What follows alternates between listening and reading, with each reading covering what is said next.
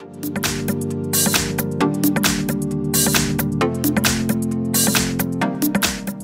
Hi everyone, in front of me I've got Samsung Galaxy Tab S8 and let me share with you how to change video resolution on this device.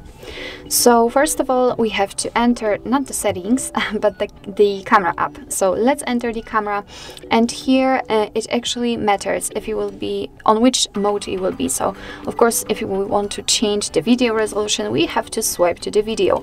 So make sure that the video is right in the middle and now let's take a look at this option panel here and the um, resolution is on the fourth position. So let's tap on it. All right. And as you can see here, we've got three more options to choose from oh I forgot that it will disappear. So we've got UHD FHD and HD all of them with 30 frames per second. So of course it's up to you which option you'd like to use. Uh, simply tap on the one you'd like to set. So let me pick this one. And as you can see uh, we had the information that it is uh, ultra high resolution.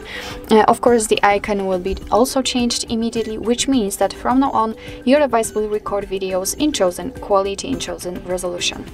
So actually this is it. This is how to change video resolution in your Samsung Galaxy Tab S8.